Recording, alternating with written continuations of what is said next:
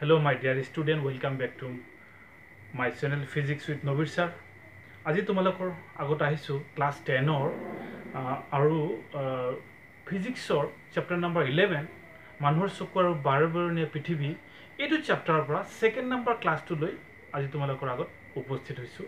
আশা কৰোঁ ইয়াৰ আগৰ ক্লাছটো তোমালোকে চাইছা আৰু যিবিলাক ছাত্ৰ ছাত্ৰী এতিয়ালৈকে চোৱা নাই নিশ্চয় সেই ক্লাছটো আগত চাই লোৱা তেতিয়াহ'লেহে এই এই ক্লাছটো বেছিকৈ বুজি পোৱাত সুবিধা হ'ব। গতিকে যিবিলাক ছাত্ৰ ছাত্ৰী এতিয়ালৈকে চোৱা নাই মোৰ চেনেলত গৈ এইটো ক্লাছ নিশ্চয় চাই ল'বা। এতিয়া আহোঁ এইটো চেপ্টাৰত কি কি মূল পইণ্টছ আমি আলোচনা কৰিম সেইকেইটা পইণ্টছ আজি মানে লিখি লওঁ বা কি কি আলোচনা কৰিম। যেনেকৈ ইয়াৰ আগৰ ক্লাছত মই বা এইটো চেপ্টাৰৰ লাষ্ট টপিক্সটো আছিলে আমাৰ চকুৰ উপযোজন ক্ষমতা তাৰপিছতে আমি আজি আলোচনা কৰিম নম্বৰ ওৱান নম্বৰ আলোচনা কৰিম আজি যে চকুৰ বিকাৰ। চকুৰ বিকাৰ। হোৱাট ইজ ডিফেক্ট কি কি ধৰণৰ বিকাৰ হ'ব পাৰে? অৱশ্য চকুৰ বিকাৰ কেৱল মই আগতেও কৈছিলোঁ যে এইটো ক্লাছত বা ফিজিক্স ৰেচপেক্টতহে মানে ফিজিক্সৰ সাপেক্ষেহে চকুৰ বিকাৰ বা প্ৰতিসৰণমূলক বিকাৰ বুলি কোৱা হয়। প্ৰতিসৰণমূলক বিকাৰ চকুৰ কি কি হ'ব পাৰে? এই সম্পৰ্কে ক্লাছত আলোচনা কৰা হ'ব। প্ৰতিসৰণমূলক বিকাৰ। প্ৰতিসৰণমূলক বিকাৰবিলাক আলোচনা কৰিম নম্বৰ ওৱান নম্বৰ টু আলোচনা কৰিম এইটো ক্লাছত নম্বৰ টু হৈছে ইয়াৰ প্ৰতিকাৰ। আমি কেনেকৈ ৰেক্টিফাই কৰিব পাৰোঁ ইয়াৰ প্ৰতিটো বিকাৰ কেনেকৈ মানে কেই প্ৰকাৰৰ চকুৰ প্ৰতিসৰণমূলক কেই প্ৰকাৰৰ বিকাৰ আছে তাক আমি প্ৰতিকাৰ কেনেকৈ কৰিব পাৰোঁ মানে ইয়াক আমি সংশোধন কেনেকৈ কৰোঁ সংশোধন বুলি ক'ব পাৰোঁ সংশোধন। কেনেকৈ প্ৰতিকাৰ কৰিম। তাৰপিছত আলোচনা কৰিম এইটো এটা বহুত ইম্পৰ্টেণ্ট কেতিয়াবা পৰীক্ষাত প্ৰশ্ন আহে যে ৰেখা চিত্ৰ বা ৰশ্মি চিত্ৰৰ সহায়ত কেনেকৈ প্ৰতীক মানে ৰশ্মি ৰশ্মি চিত্ৰ ৰশ্মি চিত্ৰ বা ৰেখা চিত্ৰ বুলি লিখা থাকে ডায়েগ্ৰাম ডায়েগ্ৰাম সম্পৰ্কে কিছু কথা আলোচনা কৰিম। কেনেকৈ আমি প্ৰতিকাৰ কৰোঁতে কেনেকুৱা ধৰণৰ ডায়েগ্ৰাম বা কেনেকুৱা ধৰণৰ চিত্ৰ আমাক অংকন কৰিব লাগে সেই বিষয়ে আলোচনা কৰিম। ঠিক আছে? গতিকে এইকেইটা পইণ্টছ আলোচনা কৰিবলৈ যাওঁতে আমি প্ৰথমতে আলোচনা কৰিব লাগিব যে চকুৰ বিকাৰ চকুৰ বিকাৰনো কি বস্তু? ডিফেক্ট অফ আইচ সেইটো সম্পৰ্কে যোৱাৰ আগতেই আমাৰ আৰু এটা বস্তু আলোচনা কৰিব লাগিব। সেইটো হৈছে কি চকুৰ উপযোজন ক্ষমতাৰ পিছত আমি অলপ অলপ কিছু কথা গম পাব লাগিব। তো আমি ইতিমধ্যে আলোচনা কৰিছিলোঁ চকুৰ উপযোজন ক্ষমতা মানে চকুৰ ভিতৰত থকা লেন্সৰ ফকাছ দৈৰ্ঘ্যত পৰিৱৰ্তন কৰিব পৰা ক্ষমতা বা সামৰ্থ্য। আমি জানো যে চকু চকু এইটো চাপ'জ এইটো এটা চকু। চকুৰ ভিতৰত এটা লেন্স থাকে। আমি জানো এইটো উত্তল লেন্স থাকে চকু। সেই চকুৰ ভিতৰত থকা উত্তল লেন্সখনৰ এনেকুৱা এটা ক্ষমতা আছে যিয়ে ফকাছ দৈৰ্ঘ্যত পৰিৱৰ্তন কৰিব পাৰে। চাপ'জ অসীম দূৰত্বত থকা এটা বস্তু অসীম ইনফিনিটি ডিষ্টেঞ্চত আছে এটা বস্তু। আমি জানো যে অসীম দূৰত্বত থকা বস্তু এটা পৰা ৰশ্মিবিলাক সমান্তৰাল আহি আহি সমান্তৰালভাৱে আহি চকুৰ লেন্সত পৰিব।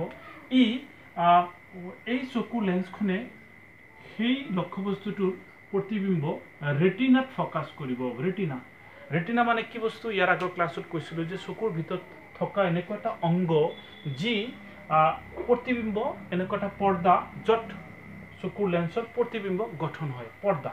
ঠিক আছে? চ' আল্টিমেটলি ৰেটিনা হৈছে এটা পৰ্দা য'ত চকুৰ প্ৰতিবিম্ব গঠন হয় গতিকে অসীম দূৰত থাকিলে গতিকে ফকাছ দৈৰ্ঘ্য এনেকৈ মডিফাই হৈ চেঞ্জ হৈ যাতে ফকাছ লক্ষ্যবস্তুটোৰ প্ৰতিবিম্ব ৰেটিনাত গঠন হয় তেনেকুৱা ফকাছ দৈৰ্ঘ্য পৰিৱৰ্তন কৰি ল'ব এতিয়া লক্ষ্যবস্তুটো যদি ওচৰত আহি যায় মানে ইনফিনিটিৰ পৰা অসীম দূৰত্বৰ পৰা ওচৰত অহাৰ লগে লগে আমাৰ হাতত অপশ্যন কি আছে বাৰু আমাৰ হাতত অপশ্যন হৈছে কি যে চকুৰ লেন্সটোৰ এটা মানে ফকাছ দৈৰ্ঘ্যটো এনেকৈ পৰিৱৰ্তন কৰিব লাগিব। কাৰণ লক্ষ্যবস্তুৰ পৰিৱৰ্তন হৈ আছে লক্ষ্যবস্তুৰ দূৰত্বৰ পৰিৱৰ্তন হৈ আছে। আগতে ইনফিনিটিত আছিলে এইবাৰ ইনফিনিটিৰ পৰা ওচৰত আহি আছে। তথাপিও চকুৰ যিটো লেন্স সেই লেন্সখনে প্ৰতিবিম্ব ক'ত গঠন কৰিব লাগিব? প্ৰতিবিম্ব ৰেটিনাতে গঠন কৰিব লাগিব। তাৰ মানে আগত যিটো ফকাছ দৈৰ্ঘ্য আছিলে এইটো ক্ষেত্ৰত যিটো ফকাছ দৈৰ্ঘ্য আছিলে অৰ্থাৎ লক্ষ্যবস্তু যেতিয়া অসীমত আছিলে যে তেনেকুৱা অৱস্থাত এই লেন্সখনৰ যিটো ফকাছ দৈৰ্ঘ্য আছিলে প্ৰতিবিম্বটো ওচৰত অহাৰ লগে লগে ইয়াৰ ফকাছ দৈৰ্ঘ্য অলপ কমি যাব। ফকাছ দৈৰ্ঘ্যটো কমি যাব। ফলত তেতিয়াহে ৰেটিনাত প্ৰতিবিম্ব গঠন হ'ব। মানে চাপ'জ লক্ষ্যবস্তুটো ইয়াত তেতিয়াহ'লে ইয়াৰ পৰা অহা প্ৰতিবিম্ব প্ৰতিফলিত প্ৰতিফলিত ৰশ্মিবিলাক বা আবদ্ধ ৰশ্মিবিলাক প্ৰতিসৰণ কৰাৰ পিছত ইয়াত ফ'কাছ কৰিব লাগিব। ইনফিনিটিৰ পৰা আহিলেও ৰেটিনাত ফ'কাছ কৰিব লাগে ওচৰত থাকিলেও ৰেটিনাত ফ'কাছ কৰিব লাগে। তাৰমানে এই ক্ষেত্ৰত ফ'কাছ এইটো বেছিকৈ ভাজ হৈ যাব বক্ৰতা বাঢ়ি যাব ফ'কাছ দৈৰ্ঘ্য কমি যাব ফলত প্ৰতিবিম্ব ৰেটিনাত গঠন হ'ব। আৰু যদি ওচৰত আহে তেতিয়াহ'লে আৰু যদি ওচৰত আহে তেতিয়াহ'লে কি হ'ব? এইটো আৰু বক্ৰতা আৰু বেণ্ড হ'ব লাগিব বেণ্ড হৈ ফ'কাছ দৈৰ্ঘ্য মানে ফ'কাছ দৈৰ্ঘ্য আৰু কমি যাব ফলত প্ৰতিবিম্ব ক'ত গঠন হ'ব? ৰেটিনাত। তাৰমানে চকুৰ ভিতৰত থকা লেন্সখনৰ ফ'কাছ দৈৰ্ঘ্য পৰিৱৰ্তন কৰিব পৰা গুণ পৰিৱৰ্তন কৰিব পাৰে। আৰু সেই গুণকে আমি উপযোজন ক্ষমতা বুলি কৈছোঁ। কিন্তু তথাপিও তথাপিও এটা মিনিমাম দূৰত্বলৈকে অহাৰ পিছত আৰু ফ'কাছ দৈৰ্ঘ্য আৰু কমাব নোৱাৰে। এইটো লেন্সটো এনেকুৱা লেন্সখন এনেকুৱা বক্ৰ কৰিল যে মানে তাৰ পিছত আৰু যদি লক্ষ্যবস্তু ওচৰত অনা হয় তেতিয়া আৰু সেই লেন্সখনে আৰু বক্ৰতা বৃদ্ধি কৰিব নোৱাৰে বা ফ'কাছ দৈৰ্ঘ্য তাতকৈ আৰু কমাব নোৱাৰে। এটা নিম্নতম ফ'কাছ দৈৰ্ঘ্যলৈকেহে বক্ৰতা কৰিব পাৰে তাতকৈ আৰু কম কৰিব নোৱাৰে। গতিকে সীমা আছে। সীমাতকৈ বেছি ওচৰত আহিলে আৰু ফ'কাছ দৈৰ্ঘ্য পৰিৱৰ্তন কৰিব নোৱাৰে। গতিকে যিটো নিৰ্দিষ্ট মেক্স মানে মিনিমাম যিমান দূৰত্বত ৰাখিলে ফ'কাছ দৈৰ্ঘ্য তাতকৈ আৰু সৰু নহয় তেনেকুৱা সেই দূৰত্বত ৰাখিলেহে প্ৰতিবিম্বটো আমি আটাইতকৈ ওচৰত থাকিলে লক্ষ্যবস্তুটো আটাইতকৈ মানে আটাইতকৈ ওচৰত থাকিলেহে প্ৰতিবিম্ব সেইখিনি দূৰত্বলৈকে প্ৰতিবিম্ব ৰেটিনাত গঠন হয়। তাতকৈ যদি ওচৰত অনা যায় তেতিয়াহ'লে ইয়াৰ যিটো লক্ষ্যবস্তু যিটো প্ৰতিবিম্ব আমি ৰেটিনাত নাপাম আমি স্পষ্টকৈ দেখা নাপাম। তেতিয়া দেখা পালেও প্ৰতিবিম্ব চকুৰ পৰা এটা নিৰ্দিষ্ট দূৰত্ব অহাৰ পিছত তাতকৈ যদি আৰু ওচৰত লৈ আহোঁ তেতিয়াহ'লে দেখা পালেও বস্তুটো দেখা পাম দেখা পালে আমাৰ চকুত প্ৰেছাৰ পৰিব ষ্ট্ৰেছ পৰিব তেতিয়া আমাৰ অসুবিধা যেন লাগিব। অনায়াসে আমি চাব নোৱাৰিম তেনেকুৱা কাৰণ কিয়? কাৰণ সেইটো আৰু মানে ইয়াত থকা লেন্সখনে আৰু বক্ৰতা বৃদ্ধি কৰিব নোৱাৰে। সেইটো কাৰণেই যিটো দূৰত্বলৈকে চকু এটা অনায়াসে এটা বস্তু স্পষ্টকৈ দেখিব পাৰে চকুৰ পৰা যি নিম্নতম দূৰত্ব বস্তু এটা স্পষ্টকৈ দেখা যায় তাতকৈ ওচৰত আনিলে স্পষ্টকৈ দেখা নাপাওঁ বা চকুত ষ্ট্ৰেছ পৰে চাপ পৰে সেই দূৰত্বটোক কোৱা হয় স্পষ্ট দৃষ্টিৰ নিম্নতম দূৰত্ব। জেনেৰেলি সেইটো সুস্থ আৰু মানে সুস্থ চকুৰ কাৰণে আৰু প্ৰাপ্তবয়স্ক লোকৰ কাৰণে সুস্থ চকু আৰু প্ৰাপ্তবয়স্ক লোকৰ কাৰণে সেইটোৰ দূৰত্ব হৈছে টুৱেণ্টি ফাইভ চেণ্টিমিটাৰ ঠিক আছে? গতিকে এইটো আছিলে কি?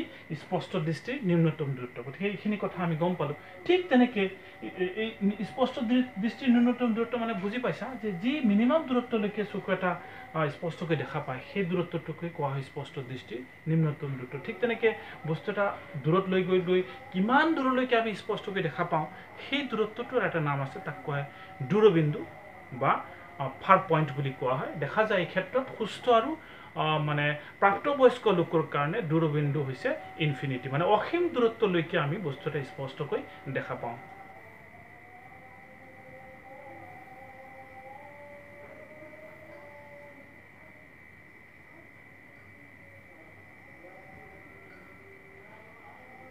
গতিকে এটা আহিব এবাৰ এইবাৰ আপোনাৰ এটা পইণ্ট আহিব যে স্পষ্ট দৃষ্টিৰ ন্যূনতম দূৰত্ব। তাক আমি আৰু এটা নিকট বিন্দু বুলিও কোৱা হয়। নিকট বিন্দু। নিয়াৰ পইণ্ট ইংৰাজীত তাক বুলি কোৱা হয়। নিয়াৰ পইণ্ট নিকট বিন্দু বুলি কোৱা হয়। তো এইটো মানে কি? কাক বোলে যদি আহে পৰীক্ষাত, তেতিয়া আমি লিখিম যে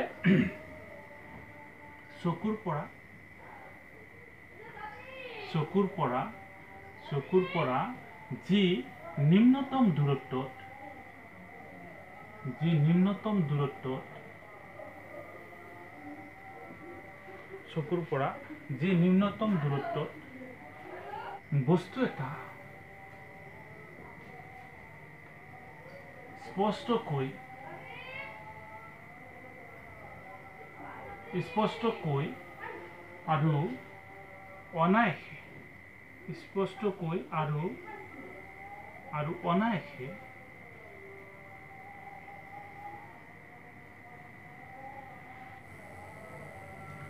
অনেকে দেখা পাওয়া যায়।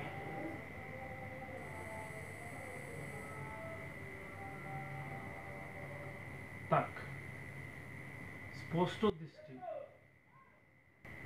স্পষ্ট দৃষ্টি, নিম্নতম দূরত্ব বলে।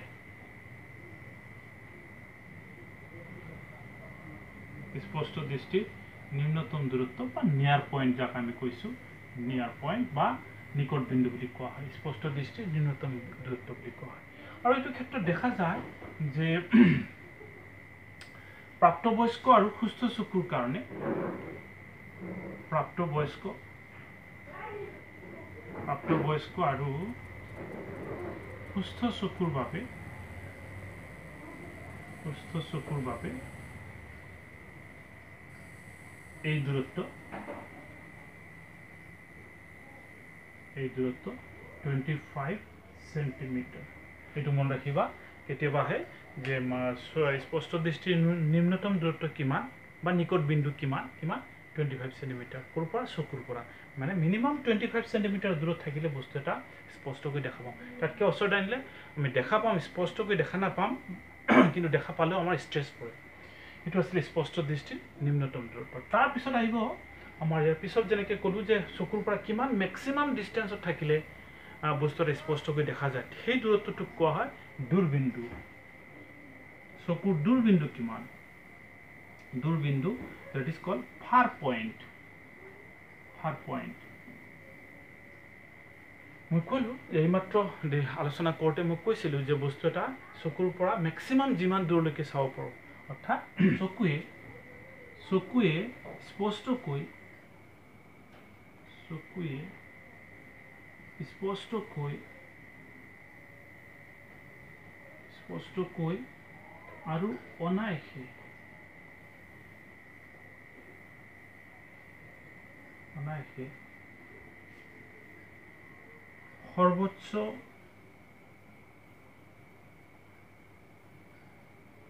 যি দূৰত্বলৈ সৰ্বোচ্চ যি দূৰত্বলৈ বস্তু এটা।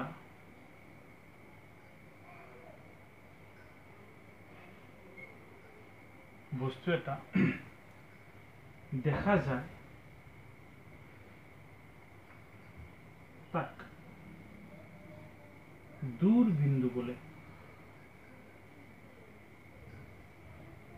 তাক দূৰবিন্দু বোলে ফাৰ পইণ্ট বুলি কোৱা হয়। কোৱা হয়? ফাৰ পইণ্ট আৰু সুস্থ চকুৰ কাৰণে এই বিন্দুটো হৈছে সুস্থ চকু আৰু প্ৰাপ্তবয়স্ক লোকৰ কাৰণে, প্ৰাপ্তবয়স্কৰ বাবে বাবে এই বিন্দু, এই দূৰত্ব অসীম অসীম so' you have to remember this one so' এইটো হৈছে কি সুস্থ চকুৰ কাৰণে এতিয়া আমি আহিম মেইন পইণ্টছলৈ অৰ্থাৎ প্ৰতিকাৰ মানে কি প্ৰতিসৰণমূলক বিকাৰ কেনেকুৱা ধৰণৰ হ'ব পাৰে অৱশ্যে ইয়াৰ আগতে তোমালোকৰ চিলেবাছত আৰু এটা বস্তু উল্লেখ আছে এই কথাটো নক'লেও নহ'ব কি আছে যে কেটেৰেক্ট কি বস্তু হোৱাট ইজ কেটেৰেক্ট বা চানি পৰা বুলি কোৱা হয় বা চানি পৰা এই কথাটো অলপ গতিকে কেটেৰেক্ট বা চানি পৰা হৈছে যে কেতিয়াবা দেখা যায় যে কেতিয়াবা বয়সীয়াল মানুহবিলাকৰ স্ফটিকাকাৰ যিটো লেন্স আছে চকুৰ ভিতৰত আমি লেন্স জানো যে চকুৰ ভিতৰত লেন্স থাকে উত্তৰ লেন্স আৰু সেই উত্তৰ লেন্সখন স্ফটিকাকাৰ উত্তৰ লেন্সখন কেতিয়া স্ফটিকাৰ উত্তৰ লেন্সখনৰ দুগ্ধ সদৃশ মানে অস্পষ্ট হৈ মানে মিল্ক বা দুগ্ধ সদৃশ হৈ পৰে। বা মানে অস্পষ্ট হৈ পৰে। তেতিয়া মানে তেনেকুৱা চকুৱে বা তেনেকুৱা মানুহে বস্তু এটাক স্পষ্টকৈ বা কেতিয়াবা সম্পূৰ্ণকৈ দেখা নাপায়। তেনেকুৱা অৱস্থাকে কোৱা কোৱা হয় কেটেৰেক্ট বা চানি পৰা গতিকে আমি ক'ব পাৰোঁ কেতিয়াবা কেতিয়াবা বয়সীয়াল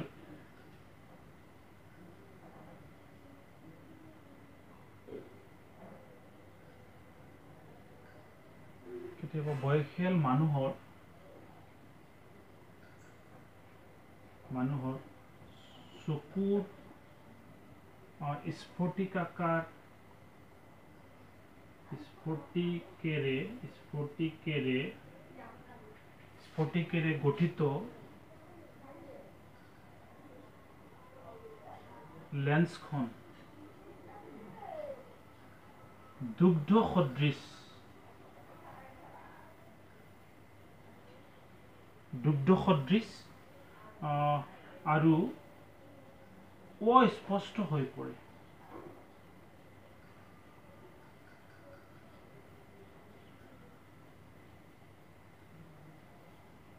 ইয়াকে কেটেৰেক্ট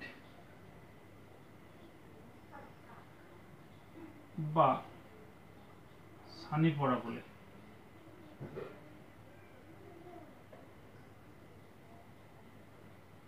কথাটো ক্লিয়াৰ হৈছে।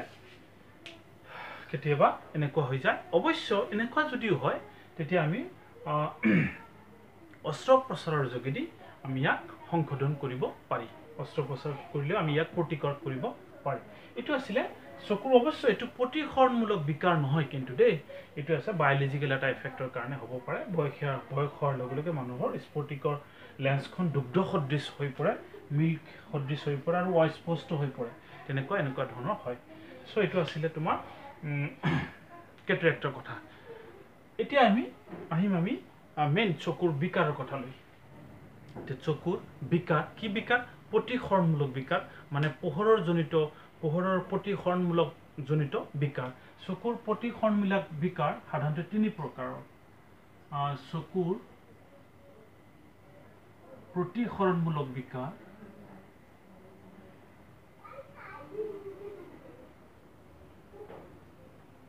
বিকাৰ তিনি প্ৰকাৰৰ। নম্বৰ ওৱান এক নম্বৰ কোৱা হয় মায়পিয়া। বা নিকট দৃষ্টিগ্ৰস্ততা।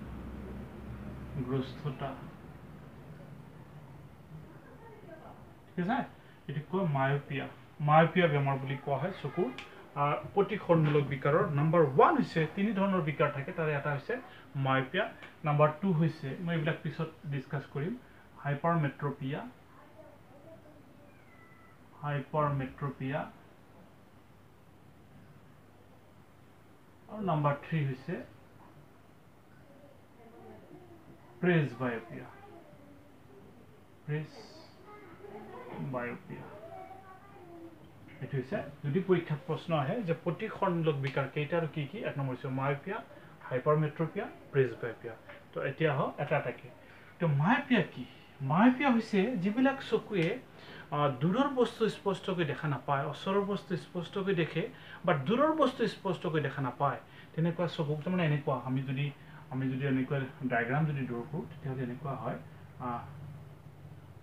চাপ'জ এইটো এটা চকুৰ গোলক চকুৰ ভিতৰত থকা লেন্স চকুৰ ভিতৰত থকা লেন্স এইটো চ' যদি দূৰৰ বস্তু স্পষ্টকৈ দেখা নাপায় তাৰমানে তাৰমানে চকুটোৰ দূৰবিন্দু সাধাৰণতে হ'ব লাগে দূৰবিন্দু অসীম, সুস্থ চকুৰ কাৰণে দূৰবিন্দু অসীম হ'ব লাগে। কিন্তু দূৰবিন্দু যদি ওচৰত আহি যায়। দূৰৰ পৰা যদি ওচৰত আহি যায় দূৰৰ বস্তু স্পষ্টকৈ দেখা নাপায়। দূৰৰ বস্তু যদি স্পষ্টকৈ দেখা নাপায় কিন্তু ওচৰৰ বস্তু অলপ তাতকৈ অলপ ওচৰত থাকিলে দেখা পায়। অৰ্থাৎ দূৰবিন্দুটো যদি ওচৰত আহি যায় তেনেকুৱা চকুৰ কাৰণে তেনেকুৱা বিকাৰক কোৱা হয় মায়পিয়া। অৰ্থাৎ তেনেকুৱা ক্ষেত্ৰত কি হয় যে এনেকুৱা অৰ্থাৎ মায়পিক বেমাৰযুক্ত চকুৰ প্ৰতিসৰণ প্ৰতিসৰণ হোৱাৰ পিছত এই লেন্সখনে প্ৰতিবিম্ব ৰেটিনা গঠন কৰায়। ঠিক আছে? এইটো হৈছে এইটো হৈছে মায়পিক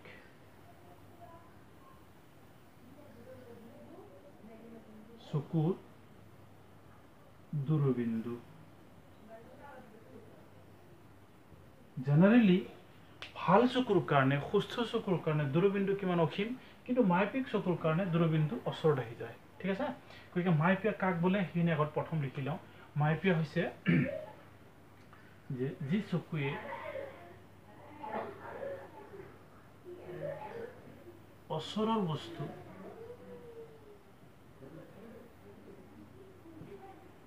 স্পষ্টকৈ স্পষ্টকৈ দেখে কিন্তু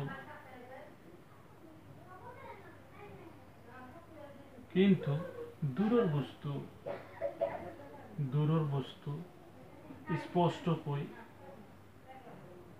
স্পষ্টকৈ দেখা নাপায়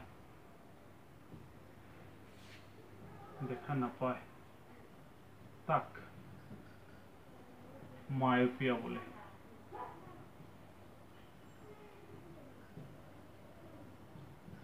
ঠিক আছে তাক মায়পিয়া বুলি কোৱা হয় গতিকে দূৰৰ বস্তু স্পষ্টকৈ দেখা নাপায় তাৰমানে তেনেকুৱা ক্ষেত্ৰত কি হয় তেনেকুৱা ক্ষেত্ৰত অৰ্থাৎ মাইপিয়েক বেমাৰ হ'লে কি হয় কি কি ঘটনা হয়? নাম্বাৰ ওৱান কি ঘটনা হয়? যে কি কয় দূৰবিন্দু যিটো ইনফিনিটি পইণ্ট আছিলে দূৰবিন্দুটো ওচৰত আহে অৰ্থাৎ আমি লিখিব পাৰোঁ দূৰবিন্দু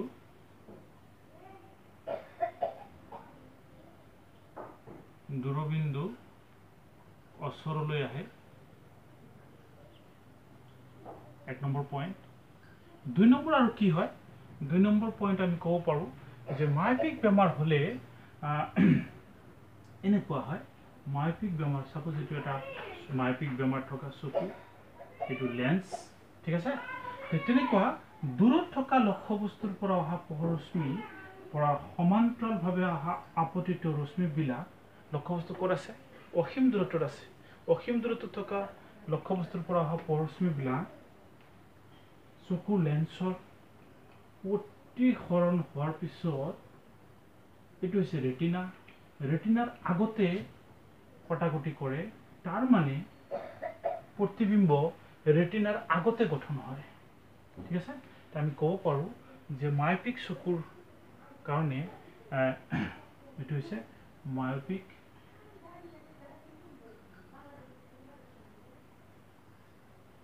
চকুৰ মাইপিক চকু ঠিক আছে? তো মাইপিক চকুৰ কাৰণে মানে বিকাৰ মাইপিক বিকাৰ মাইপিক বিকাৰযুক্ত চকু তাৰমানে মাইপিক চকু যদি হয় তেনেকুৱা দূৰৰ বস্তু যিটো স্পষ্টকৈ দেখা নাপায় গতিকে দূৰৰ বস্তু কিয় স্পষ্টকৈ দেখা নাপায়? কাৰণ দূৰৰ বস্তুৰ পৰা পোহৰ পৰশ্মি প্ৰতিসৰণ হোৱাৰ পিছত চকুৰ লেন্সে ৰেটিনাৰ আগতে কটাকটি কৰে প্ৰতিবিম্ব ৰেটিনাৰ আগতে হয়। গতিকে দুই নম্বৰ পইণ্ট যে প্ৰতিবিম্ব প্ৰতিবিম্ব ৰেটিনাৰ ৰেটিনাৰ আগত গঠন হয় আগত গঠন হয় ঠিক আছে? অৰ্থাৎ মায়পিক চকুৰ কাৰণে এই দুটা ঘটনা হয়। কি ঘটনা হয় যে দূৰবিন্দু ওচৰলৈ আহে ইনফিনিটিৰ পৰা ওচৰলৈ আহে। দুই নম্বৰ ঘটনা কি হয় যে ৰেটিনাৰ আগতে প্ৰতিবিম্ব গঠন হয়। ফলত ইয়াৰ কাৰণ কিয় এনেকুৱা হয়? ইয়াৰ কাৰণ কি? মায়পিকৰ হোৱাৰ কাৰণ দুটা তাৰ নাম্বাৰ ওৱান কাৰণ হৈছে তোমালোকৰ পৰীক্ষাত কেতিয়াবা কাৰণ লিখিবলৈ আহে নাম্বাৰ ওৱান হৈছে চকুৰ লেন্সৰ চকুৰ লেন্সৰ এক নম্বৰ কাৰণ হৈছে চকুৰ লেন্সৰ অত্যাধিক বক্ৰতা হয়।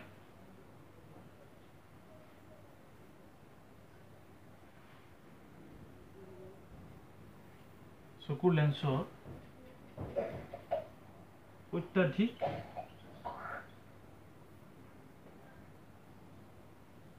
অত্যাধিক বক্ৰতা এক নম্বৰ কাৰণ। বক্ৰতা অত্যাধিক হয়। দুই নম্বৰ কাৰণ হৈছে কিয় হয়? অক্ষিগোলক দীঘল অৱস্থা হোৱা। অক্ষিগোলক অক্ষিগোলক দীঘল হয়। এই দুটা কাৰণত। পৰীক্ষাত যদি প্ৰশ্ন আহে যে মাইপিয়া বেমাৰ কিয় হয় এক নম্বৰ কাৰণ হৈছে যে চকুৰ লেন্সৰ অত্যাধিক বক্ৰতা হয় কিবা কাৰণত? বক্ৰতা মানে বেছিকৈ বেণ্ড হয় বেছিকৈ ভাজ হয় বেছিকৈ মানে বেণ্ড হৈ যায় চকুৰ বক্ৰতা অত্যাধিক হয় অৰ্থাৎ প্ৰকাশ দৈৰ্ঘ্য বেছিকৈ কমি আহে। আৰু অক্ষিগোলক নাইবা দুই নম্বৰ হ'ব যে অক্ষিগোলক দীঘল হয় মানে গোলকটো ভাজ হোৱাৰ কাৰণে অক্ষিগোলকটো মানে এইটো যিটো গোলক এইটো চেপেটা মানে দীঘল এনেকুৱা টাইপছৰ হয়। তেতিয়াহ'লে গোলক ইয়াৰ ইয়াৰ যিটো বক্ৰতা কম ব- বক্ৰতা খুব বাঢ়ি যায় ফলত প্ৰকাশ দৈৰ্ঘ্য খুব কমি যায় তেনেকুৱা কাৰণত হ'ব হয় কি বেমাৰ হয় মাইপিয়া বেমাৰ হয় গতিকে ইয়াৰ প্ৰতিকাৰ কি কৰিব পাৰোঁ আমি লিখিব পাৰোঁ প্ৰতিকাৰ হাউ উই ৰিমুভ ফ্ৰম দিছ প্ৰতিকাৰ দেখা যায় যে উপযুক্ত ক্ষমতাৰ অৱতল লেন্স ব্যৱহাৰ কৰি কাৰণ কিয় অৱতল লেন্স চাবা কাৰণ এইকাৰণে অৱতল লেন্স দেখা গৈ আছে যে মায়পীয়া মায়পীয়া বিকাৰযুক্ত চকুৰ কাৰণে দেখা যায়? যে চকুৰ যিটো লেন্স সেই সেই লেন্সটোৰ বক্ৰতা বেছি হয় মানে ফকাছ দৈৰ্ঘ্য কমি যায় মানে ক্ষমতা বাঢ়ি যায়। গতিকে ফকাছ দৈৰ্ঘ্য কমাবৰ কাৰণে বা কি কয় ফকাছ দৈৰ্ঘ্য কমাবৰ কাৰণে কি কমি যায়, গতিকে ফকাছ দৈৰ্ঘ্য বৃদ্ধি কৰাৰ কাৰণে বা পাৱাৰ কমাবৰ কাৰণে আমি অৱতল লেন্স উপযুক্ত ক্ষমতা অৱতল লেন্স ব্যৱহাৰ কৰিব লাগে। উপযুক্ত ক্ষমতা উপযুক্ত ক্ষমতা অৱতল লেন্স অৱতল লেন্স ব্যৱহাৰ কৰি অৱতল লেন্স ব্যৱহাৰ কৰি অৱতল লেন্স ব্যৱহাৰ কৰি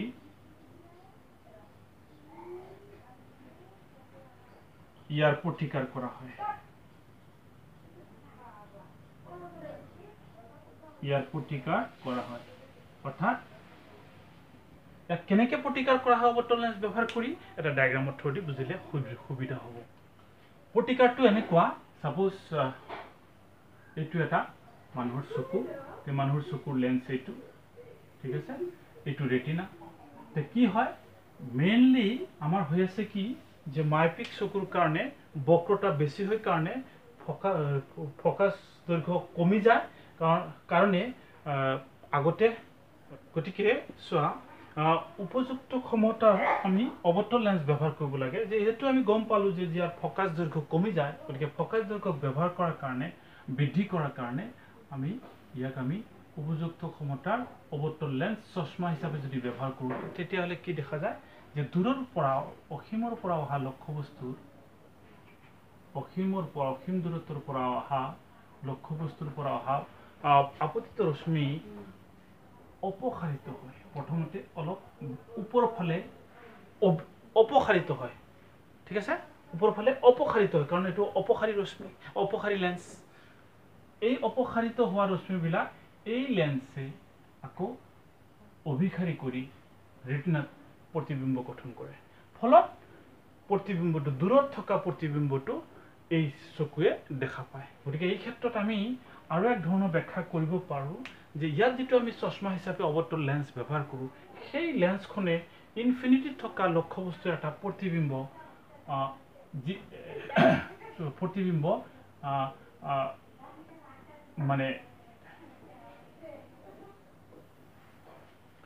মাইপিক বিকাৰযুক্ত চকুৰ দূৰবিন্দুত গঠন কৰে।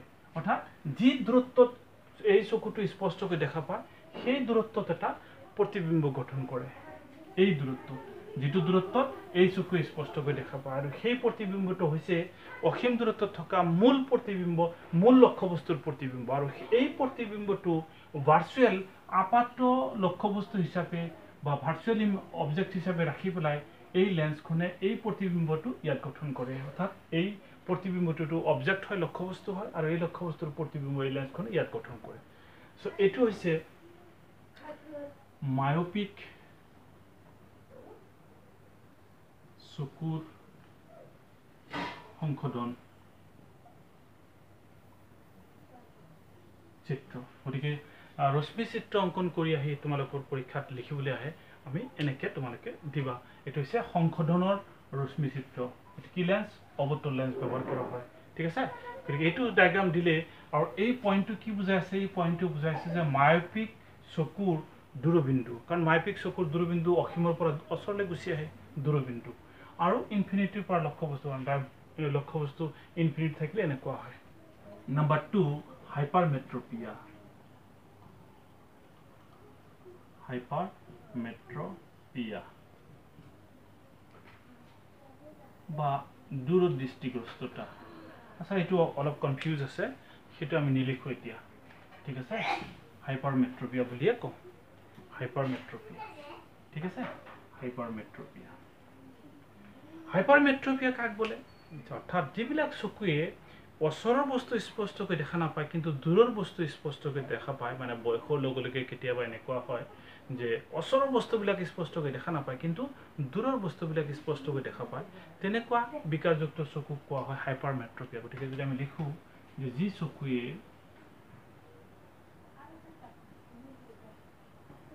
ওচৰৰ বস্তু স্পষ্টকৈ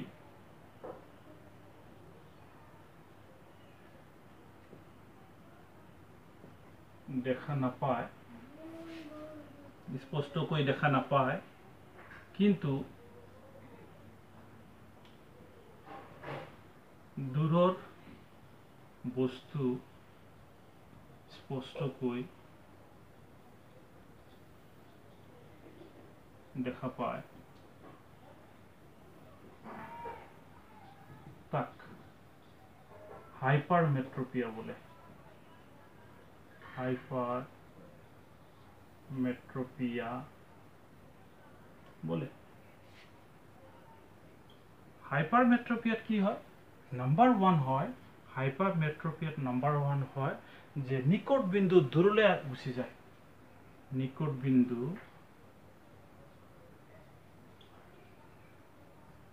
দূৰলৈ দূৰলৈ যায়। আৰু দুই নম্বৰটো কি হয়, যে প্ৰতিবিম্ব ৰেটিনাৰ বাহিৰত গঠন হয়। প্ৰতিবিম্ব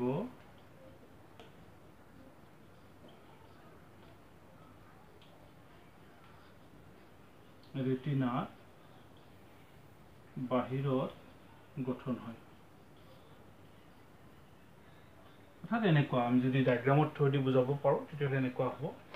চাপ'জ এইটো হৈছে তোমাৰ চকুৰ এটা পাৰ্ট এইটো চকুৰ লেন্স চকুৰ লেন্স ইয়াৰ ওচৰত থকা বস্তু এটা অৰ্থাৎ টুৱেণ্টি ফাইভ স্পষ্ট দৃষ্টিৰ ন্যূনতম দূৰত্ব হৈছে টুৱেণ্টি ফাইভ টুৱেণ্টি ফাইভ চেণ্টিমিটাৰলৈকে থাকিলে বস্তু এটা থাকিলে ভালকৈ দেখা নাপায়। কিন্তু তাতকৈ যদি দূৰত থাকে টুৱেণ্টি ফাইভ চেণ্টিমিটাৰতকৈ যদি দূৰত থাকে যদি দূৰত থাকে চাপ'জ ইয়াত টুৱেণ্টি ফাইভ চেণ্টিমিটাৰ দূৰত থকা লক্ষ্য বস্তু এটা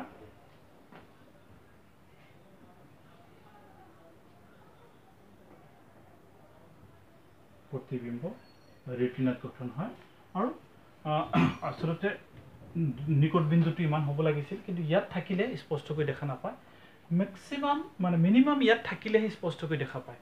অৰ্থাৎ দূৰবিন্দু নিকট বিন্দুটো আঁতৰলৈ গুচি যায়। কথাটো বুজি পাইছা? ইয়াত থাকিলে স্পষ্টকৈ দেখা নাপায় কিন্তু টুৱেণ্টি ফাইভ এইটো এইটো মানে টুৱেণ্টি ফাইভ চেণ্টিমিটাৰ কিন্তু টুৱেণ্টি ফাইভতকৈ বেছি এক মিটাৰ হ'ব পাৰে টু মিটাৰ হ'ব পাৰে। চ' ইমানখিনিলৈকে থাকিলেহে স্পষ্টকৈ দেখা পায়। তো এইটো কি চকু? হাইপাৰ মেট্ৰপিক চকু।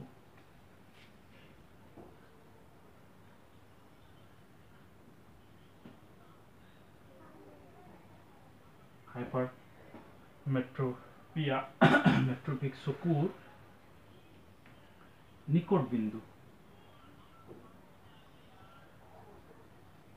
নিয়াৰ পইণ্ট নিয়াৰ পইণ্টটো কিমান? ইয়াত। ঠিক আছে? য'ত ইয়াত হ'ব লাগিছিল বাট ইট ইজ নট ইয়াত ইয়াত হ'লে দেখা নাপায় গতিকে দূৰবিন্দুত গুচি দূৰলৈ গুচি গ'ল। নিকট বিন্দুত দুই নম্বৰ কি হয়? যে প্ৰতিবিম্ব ৰেটিনাৰ পিছফালে গঠন হয় এনেকুৱা হয়। এইটো লেন্স এইটো লেন্স এইটো চকু যদি ওচৰত থাকে লক্ষ্য বস্তু যদি টুৱেণ্টি ফাইভ চেণ্টিমিটাৰত থাকে দূৰত নহয় তেতিয়াহ'লে কি হয়? টুৱেণ্টি ফাইভ চেণ্টিমিটাৰৰ পৰা অহা প্ৰতিবিম্বটো ৰেটিনাৰ পিছফালে গঠন হয়। এইটো হৈছে টুৱেণ্টি ফাইভ চেণ্টিমিটাৰ টুৱেণ্টি মানে এইটো twenty five centimetre twenty five centimetre ৰাখিলে প্ৰতিবিম্ব ৰেটিনাৰ পিছফালে গঠন হয় বাহিৰত গুচি যায়। গতিকে ৰেটিনাৰ পিছফালে গঠন হৈ আমাৰ চকুৱে স্পষ্টকৈ দেখা নাপায়। সেইকাৰণে হাইপাৰমেট্ৰপিয়া হাই হাইপাৰমেট্ৰপিক বেমাৰ থকা মানুহে ওচৰৰ বস্তু স্পষ্টকৈ দেখা নাপায়। যি টুৱেণ্টি ফাইভ চেণ্টিমিটাৰত ভালকৈ দেখি পাব লাগিছিল কিন্তু চাবা বয়সীয়াল মানুহবিলাকে অলপ বয়স হোৱাৰ লগে লগে চশমা থকা মানুহবিলাকে কিতাপ বা নিউজ পেপাৰ পঢ়োঁতে এনেকৈ পঢ়িব লাগে। বুজি পাইছা? তাৰমানে টুৱেণ্টি ফাইভ চেণ্টিমিটাৰত স্পষ্ট নহয় তাতকৈ অলপ দূৰত ৰাখিব লাগে। গতিকে হাইপাৰমেট্ৰপিক বেমাৰ কি কি কাৰণে হ'ব পাৰে? ইয়াৰ কাৰণ কি? What are the cause behind hypermetropic disease number one এক নম্বৰ কাৰণ হৈছে চকুৰ লেন্সৰ ফকাছ দৈৰ্ঘ্য। চকুৰ লেন্সৰ ফকাছ দৈৰ্ঘ্য। যথেষ্ট বেছি হয়। যথেষ্ট যথেষ্ট বেছি হয়। এক নম্বৰ কাৰণ যিকোনো কাৰণতে হওক চকুৰ ভিতৰত যিটো লেন্স আছে লেন্সটোৰ ফকাছ দৈৰ্ঘ্য বৃদ্ধি হৈ যায় বাঢ়ি যায়। চকুৰ লেন্সৰ ফকাছ দৈৰ্ঘ্য যথেষ্ট পৰিমাণে বাঢ়ি যায়। নাম্বাৰ টু কাজ কজ হৈছে দুই নম্বৰ কাৰণ হৈছে যে চকুৰ গোলকৰ অক্ষী গোলকৰ বক্ৰতা। দুই নম্বৰ কাৰণ হৈছে অক্ষী গোলক অক্ষী গোলক যথেষ্ট যথেষ্ট সৰু হয়। ঠিক আছে? এই দুটা কাৰণত হাইপাৰমেট্ৰপিক ডিজিজ বা বেমাৰ হ'ব পাৰে। কাক বোলে, কি কি হয় আৰু কিহৰ কাৰণে হয় আমি ব্যাখ্যা কৰিলোঁ এতিয়া। আমি ইয়াৰ প্ৰতিকাৰ বা আমি কেনেকৈ সংশোধন কৰিম সেই বিষয়ে আলোচনা কৰিম। প্ৰতিকাৰ। প্ৰতিকাৰ দেখা যায় যে উপযুক্ত ক্ষমতাৰ উপযুক্ত ক্ষমতাৰ উত্তল লেন্স উত্তল লেন্স ব্যৱহাৰ কৰি ব্যৱহাৰ কৰি ইয়াৰ প্ৰতিষা প্ৰতিকাৰ কৰা হয় ইয়াৰ প্ৰতিকাৰ কৰা হয় ইয়াৰ প্ৰতিকাৰ কৰা উপযুক্ত ক্ষমতা উত্তল লেন্স ৰশ্মি চিত্ৰ অংকন সহায়ত বুজাবলৈ হ'লে তেতিয়াহ'লে চাবা, এইটো হৈছে তোমাৰ এটা চকু লেন্স এনেকুৱা ইয়াক যদি আমি এটা উত্তল লেন্স ব্যৱহাৰ কৰোঁ তেতিয়াহ'লে কি হয় যে ওচৰত থকা লক্ষ্যবস্তু এটা প্ৰতিবিম্ব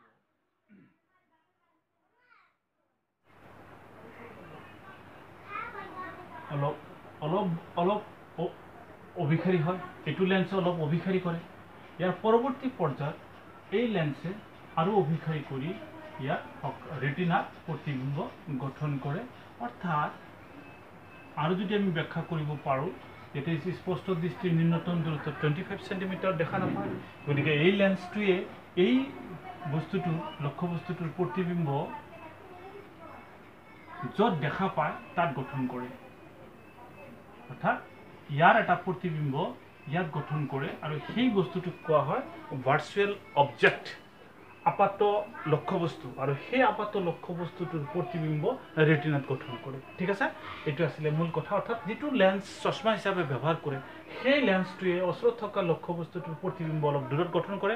যি দূৰত থাকিলে সেই চকু স্পষ্টকৈ দেখা পায় আৰু সেইটো মানে কাৰেক্টেড মানে কি কয় হাইপাৰমেট্ৰপিয়াৰ দূৰবিন্দু চৰি নিকট বিন্দু গতিকে সেই নিকট বিন্দুত থাক- থকা অৱস্থাত ইয়াত দেখা পায়।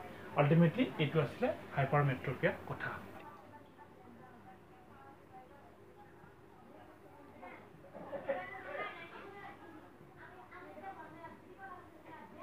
প্ৰেছ বায়'পিয়া সাধাৰণতে বয়সীয়া বয়সৰ লগে লগে মানুহবিলাকৰ সাধাৰণতে দেখা যায় যে ইয়াৰ উপযোজন ক্ষমতা কমি যায়। বয়সৰ লগে লগে বয়সৰ লগে লগে বয়সৰ লগে লগে মানুহৰ উপযোজন ক্ষমতা উপযোজন ক্ষমতা উপযোজন ক্ষমতা কমি আহে। আৰু আৰু মানে ওচৰত থকা বস্তুবিলাকৰ প্ৰতিবিম্ব লক্ষ্য ওচৰত থকা বস্তুবিলাকৰ লক্ষ্যবস্তুৰ প্ৰতিবিম্ব স্পষ্টকৈ দেখা নাপায় নাইবা কেতিয়াবা দূৰত থকা লক্ষ্যবস্তুৰ প্ৰতিবিম্ব স্পষ্টকৈ দেখা নাপায়। তো দুয়োটা হ'ব পাৰে মানে যিহেতু উপযোজন ক্ষমতা যিহেতু কমি যায় তে তেনেকুৱা ক্ষেত্ৰত ওচৰৰ লক্ষ্যবস্তু কেতিয়াবা দেখাত অসুবিধা হয় দূৰৰ লক্ষ্যবস্তু কেতিয়াবা দেখাত অসুবিধা হয়।